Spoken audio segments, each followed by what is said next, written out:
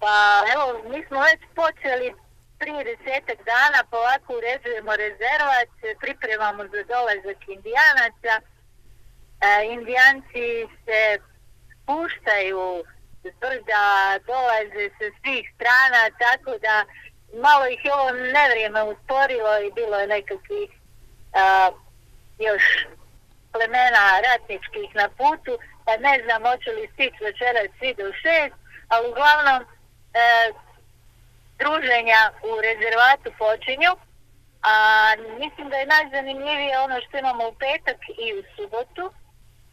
U petak imamo dječji, e, dječju maškaratu od e, četiri i po popodne do šest i po popodne u parku Striježice. E, bit će igre, oslikavanje lica, malo plesa, malo zabave, natjecanja, radionica, svega ponešto.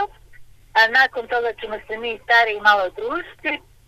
E, a u subotu nam je ono glavno događanje, imamo e,